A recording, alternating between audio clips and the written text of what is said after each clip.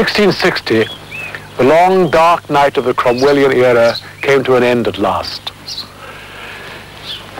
The Englishmen heaved a sigh of relief as they raised their glasses loyally toasting the new king, or danced round their maypoles, or threw flowers at him as he rode in his progress on his way from Dover.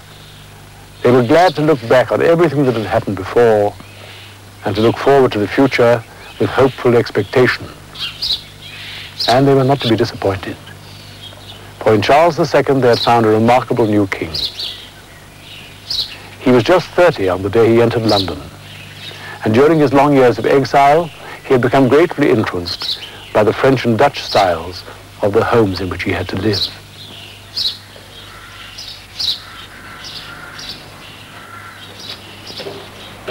Charles was a man who loved to embrace new enthusiasms, but he was no dilettante king. He was determined to see that things were done properly.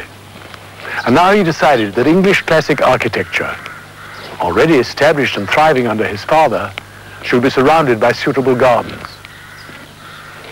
Less than a year after his return, Edmund Waller had written a poem entitled On St. James's Park, as lately improved by His Majesty.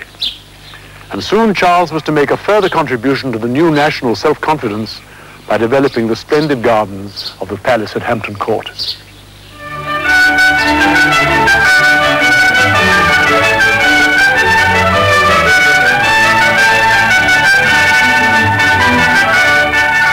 Charles commissioned his French gardener André Molé to transform the royal gardens. Here at Hampton Court, Molé began by having the huge ornamental waterway, a canal, dug and filled from the Thames.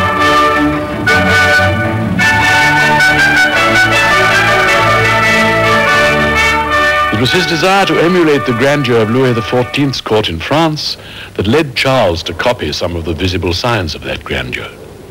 Charles had plainly been influenced by the huge formal French gardens like this one at Vaux-le-Vicomte. It was designed by the most famous of all French garden designers, André Le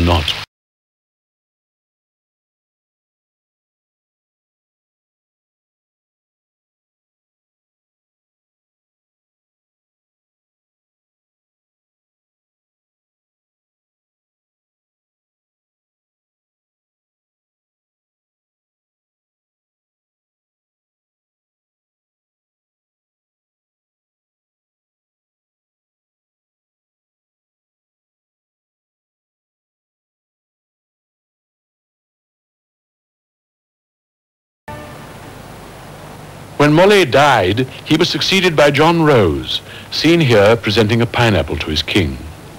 Though Rose was English, he had trained in France under Le Nôtre and had brought back French ideas which he adapted to suit English gardens. Other men, too, were impressed by the French gardens. Even before the Civil War, Edmund Waller had begun his garden at Hall Barn near Beaconsfield. He had traveled to France with his friend the diarist John Evelyn, and his garden reflects those French visits, though admittedly on a more modest scale. Hall Barn still exists, the earliest example of the French style in England, with its walls of trees and hedges. In 1664, Evelyn published a book called Sylva. This was a discourse on forest trees, and it remained the standard work on trees for over a century. Among other things, Evelyn championed the planting of yew in the garden.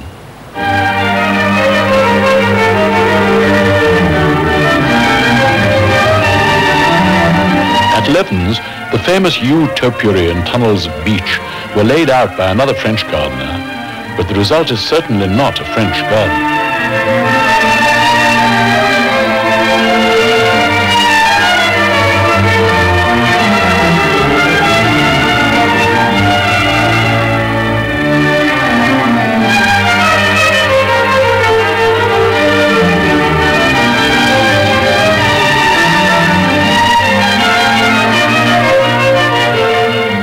Charles II and a few men like Evelyn and Waller were decidedly in advance of their time in adopting French ideas.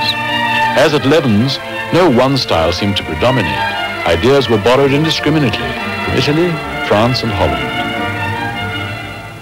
These paintings of contemporary gardens demonstrate this mixture of styles. All show typical walled gardens surrounding the house, divided by further walls into compartments. Vegetable gardens, flower gardens, and enclosures with lawns.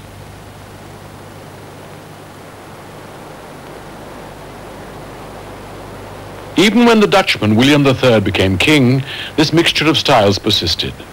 In Holland, the royal palace at Het Loo had been designed by Daniel Marot on a grand scale. Marot was yet another pupil of André Le Nôtre. When William arrived in England, he brought Marot over and promptly set him to work. His first commission here at Hampton Court. Here, Marot designed the huge formal layout with its elaborate arrangement of beds. The canal was left untouched. But it was neither Holland nor France which inspired this garden at Powis Castle. The Italians had made terraced gardens on their hills. To build his garden, Lord Rochford settled for the same device, the terrace.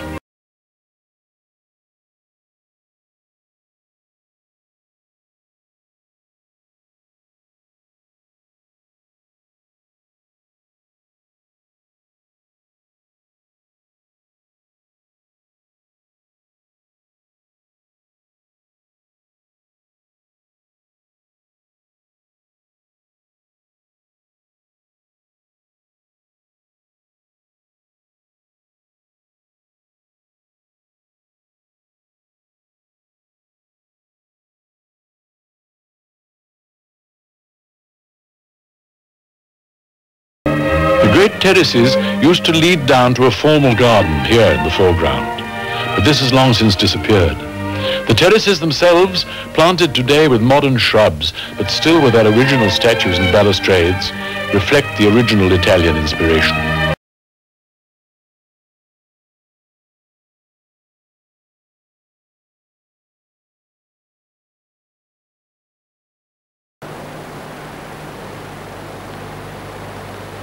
Gardens of townhouses, probably because they were smaller and enclosed, did show a clear Dutch influence.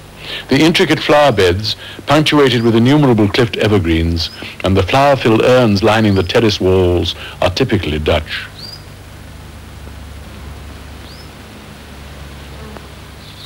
The gardens of Dyrham near Bath were laid out for King William's Secretary for War, William Blathwayt. It was he, on one of his frequent visits to Holland, who brought over the great pottery urns from Delft and the tulips to fill them. The Dutch, then as now, were foremost in the propagation of bulbs, especially the more exotic forms of striped tulip.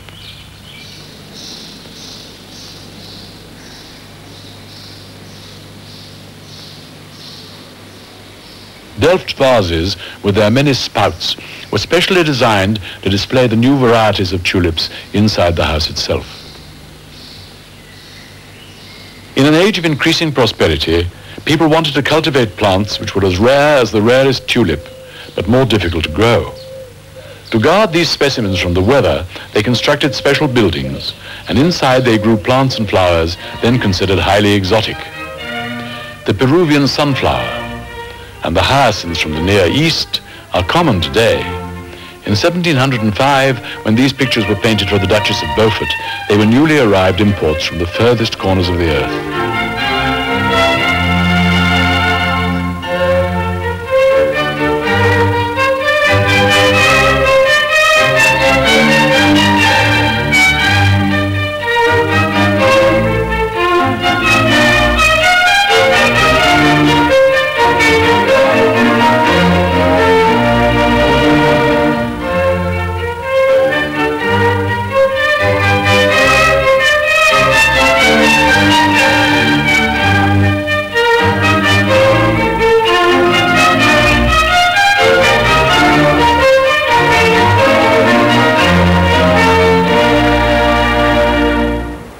Oranges, from which the orangery gets its name, were grown probably for decoration. And the pineapple, too, was admired for its exotic appearance rather than its taste. the oranges themselves would be kept inside during the winter, and in the summer they would be brought outside and arranged in their tubs along terraces and paths. These needlework tapestries were sewn by the ladies at Stoke Edith House in the early 1700s and give a unique record of a typical garden of that period.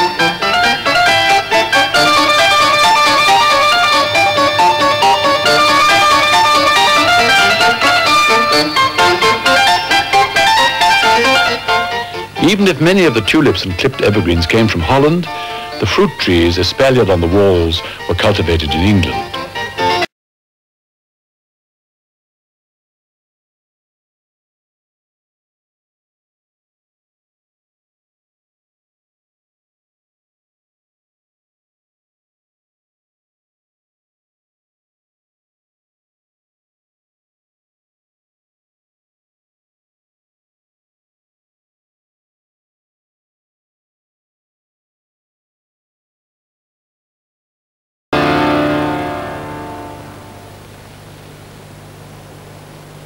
Most famous nursery garden in England was founded in 1681 by George London, who was joined later by Henry Wise.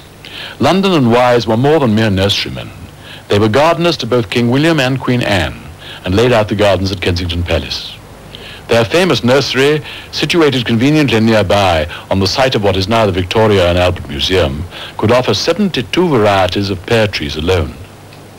For gardens all over England, like Chatsworth and Longleat, hundreds of thousands of trees would be provided by London and Wise and planted to their designs. The planting, even on this massive scale, was probably completed in only a few months, but the maturing of the trees took decades. London and Wise's designs for the ground close to the house were real patterns for pleasure, and they were called parterres. Parterres were a development of the knot garden, greatly enlarged and elaborated, but using many of the same materials. Clipped evergreens, colored earths, sand and grass were the principal ingredients. They were designed to be looked down on and enjoyed, and not just from raised terraces. The state apartments in many houses were on the first floor.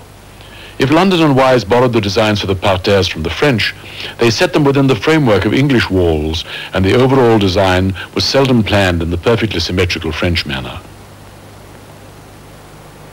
In 1712, when John James translated the theory and practice of gardening from the French original, he illustrated the book not only with general layouts which are rigidly symmetrical, but also with designs for parterres, showing details like the patte d'oie, a pattern of radiating alleys in the shape of a goose's foot.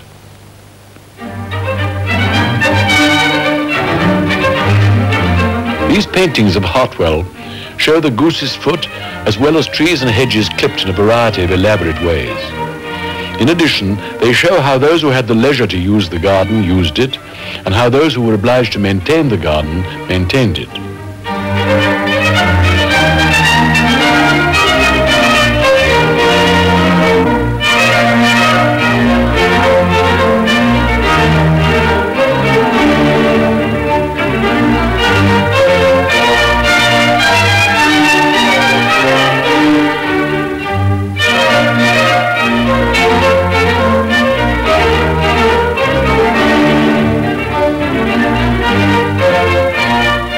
The walls of brick and stone were replaced with the green walls of hedges and pleached trees.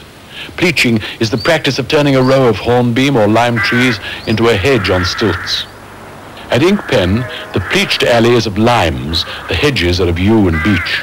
Behind the hedges, the taller beech trees would have been plashed, trimmed to form a second, much higher wall of green.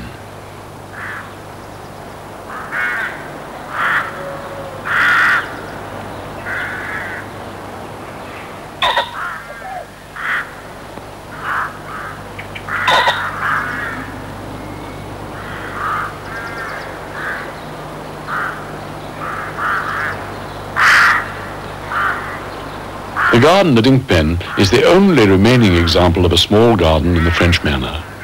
The other formal gardens have disappeared. Changes in fashion and ravages of weather have left Inkpen unique. One example of a large garden still exists at St. Paul's, Walden Bury.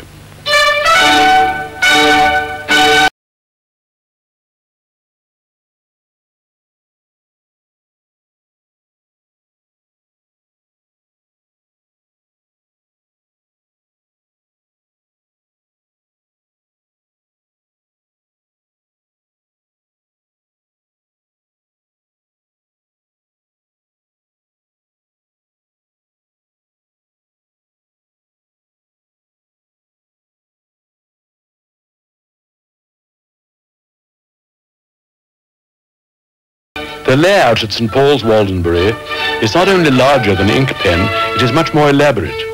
Here, the alleys of the Goosefoot, crossed by further alleys forming a trellised pattern of walks, lead to temples and statues. The use of statuary and buildings to draw the eye into the distance has the effect of exaggerating the size of the garden, and they were also used here to decorate the glades that lie between the alleys.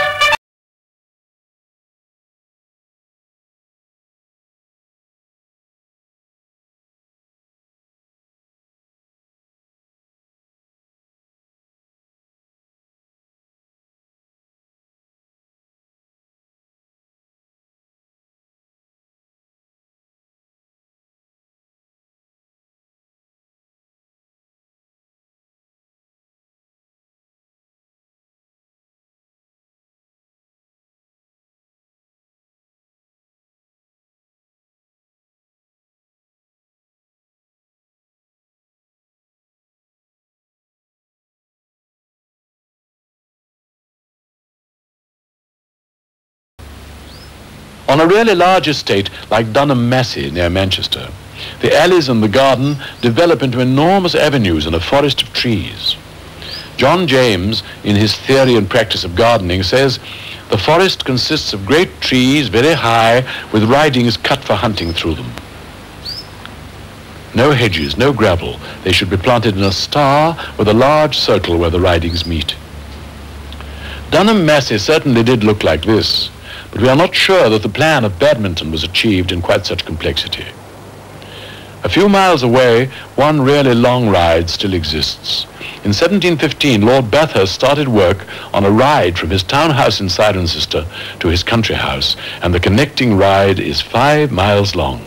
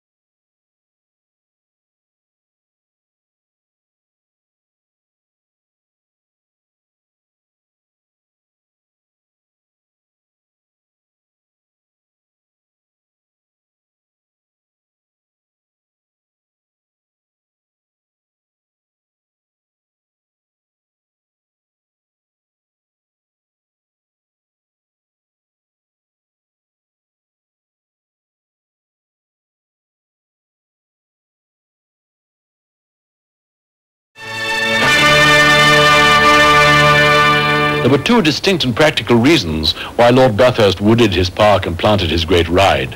Firstly, trees were a profitable investment. Secondly, the ride itself, as he said, helped him to get away from the summer smells of the town. From 1700 onwards, an ever-increasing number of Acts of Parliament were passed, allowing the landowners to increase their acreage by enclosing the old common land.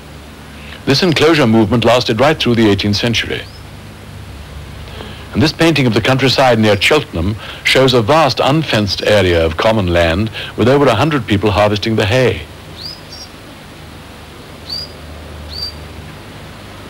In the companion painting, the land has been enclosed into small fields. Dixton Manor was obviously a small and modest establishment, but there was nothing to stop a richer landlord from extending his park or garden over as many of his fields as he liked, and certainly many of them did so, because enclosing the land meant more efficient farming, and greater efficiency yielded more food and bigger profits. Improved methods of farming and gardening required good implements. These gardening tools have hardly changed in 250 years. They are carved in stone on the base of an obelisk which marks the completion of the garden at Hall Barn and the end of the French influence on English gardening.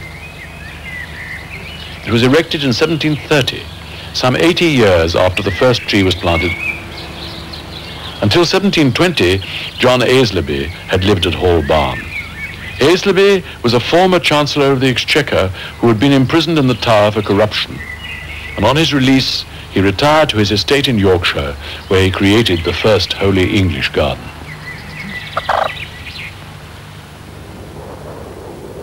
Half a mile from the house, the River Skell passes through a steep-banked valley and opens out into a semicircle of wooded hills. Aislabie dammed the river and with a considerable feat of hydraulics turned it into a canal and from this fed the moon ponds. The canal and the ponds are arranged in a formal pattern, but the simplicity of grass and water set within the natural amphitheatre of trees makes Studley Royal one of the finest of all English gardens.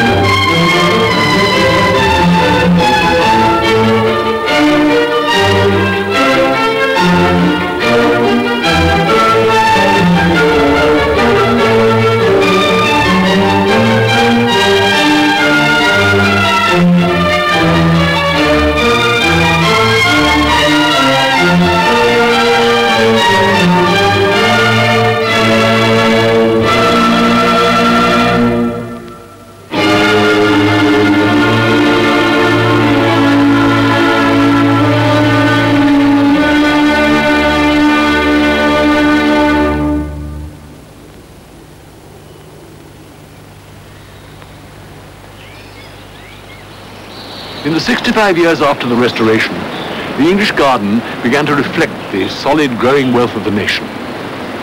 As times became more prosperous, the garden became less defensive, less dependent on being protected by castle moats and walls. Rides, avenues and patterns of water belonged to the formal garden.